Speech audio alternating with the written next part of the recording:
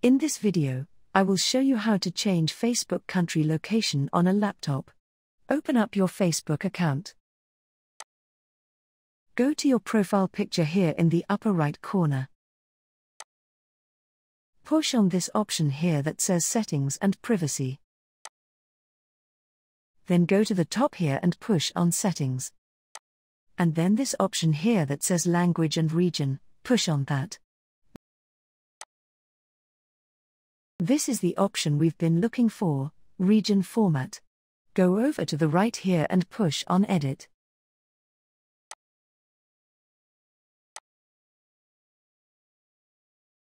Come to this search bar here and find the country you would like to change your location to.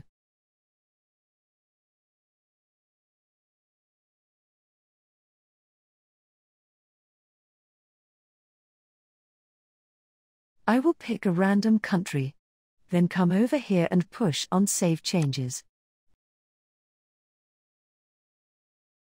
And there we go, guys.